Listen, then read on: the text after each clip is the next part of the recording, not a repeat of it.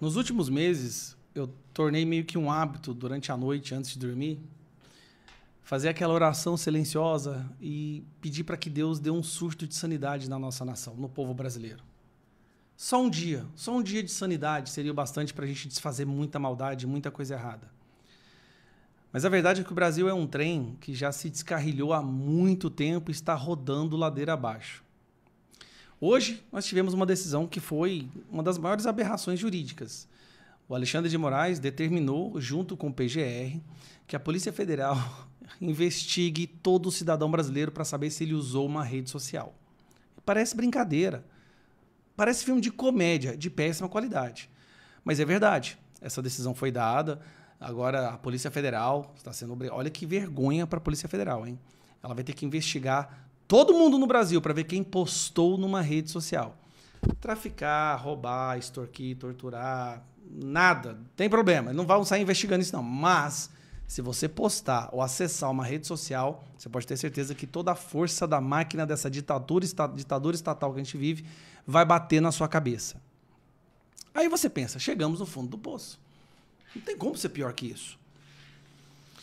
De repente a gente descobre, porque é tanta coisa absurda acontecendo, que nesse momento está tendo uma votação na nossa Suprema Corte Federal. E a votação é extremamente importante. Para a sobrevivência da humanidade, é uma votação extremamente importante. Eles estão decidindo se podemos continuar usando os termos pai e mãe. Se a palavra pai e mãe representa uma ofensa à comunidade trans. Uma decisão que pode retirar a palavra pai e mãe dos documentos. Você está entendendo o que, que é isso? Ah, mas a esquerda não quer destruir a família. Meu amigo, não só quer destruir a família, mas as palavras que se referem aos membros da família querem destruir a palavra pai e a palavra mãe. Pelo amor de Deus, por tudo quanto é mais sagrado, o que mais é preciso para o povo perceber que o Brasil foi para o buraco? Que eu acho que não tem nem como resgatar, tem que zerar e construir do zero. Esse, é, aqui tem a votação de dois membros do STF, o André Mendonça e o, e o Nunes. Olha o absurdo isso aqui, olha o que está sendo debatido na nossa Suprema Corte.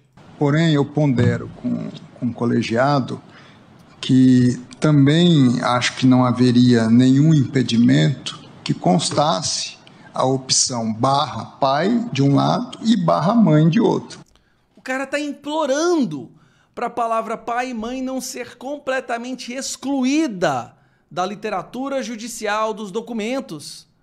Ele está pedindo, por favor, gente, não, não, não exclui isso, não. Porque a mãe que se considera nessa qualidade, acho que também gostaria de ter essa designação. Imagina, nós estamos aqui diante de um direito de minoria que é um direito fundamental subjetivo, a não, se, a não ser reconhecido como não se reconhece. Agora, não, nós não podemos descuidar de milhões e milhões de jovens brasileiras que têm que acalantam o sonho de ser mãe. Essa é a grande maioria. E nós estamos igualando. Eu não posso ultrapassar. Eu não posso colocar esse direito na frente do outro. E o que se almejou por meio dessa ação foi alcançar uma denominação que, é, por assim dizer, em relação a essas pessoas, não implicasse numa exclusão discriminatória da sua constituição de personalidade.